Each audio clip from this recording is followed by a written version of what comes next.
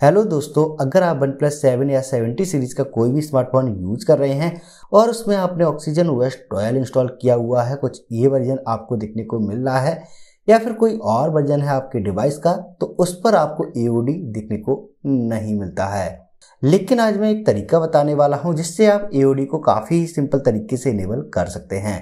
अगर आप अपनी सेटिंग्स के अंदर पर्सनलाइजेशन पर ऑलवेज ऑन डिस्प्ले पर टैप करते हैं पावर सेविंग मोड पर देखने को मिल जाता है। इस कार्ड से ये इनेबल होता ही नहीं है। तो इसके लिए सिंपल से एक एप्लीकेशन है जिसे आपको डाउनलोड करना है। इसकी लिंक आपको वीडियो के डिस्क्रिप्शन में मिल जाएगी। डिस्क्रिप्शन पर सिंपल से आपको होल्ड एंड टैप करके रखना है और डिस्क्रिप्शन ओपन हो जाएगा। उसके बाद एओडी नाम का ये जो एप्लीकेशन है, इसको डाउनलोड कर लेना है और सिंपल से अपने डिवाइस पर इसको अपडेट कर देना है।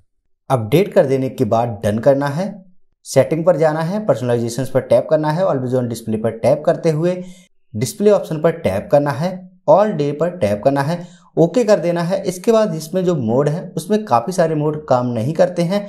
अब सिंपल से आपको इसको बैक करना है, और बैक करना है।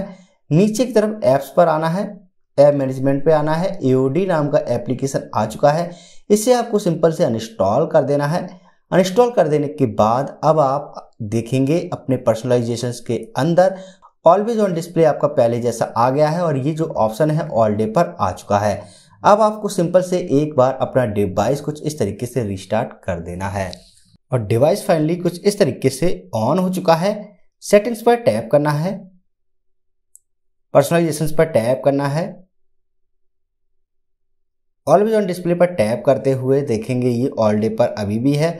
अब आप यहाँ से कोई भी क्लॉक स्टाइल्स यहाँ से अप्लाई कर सकते हैं।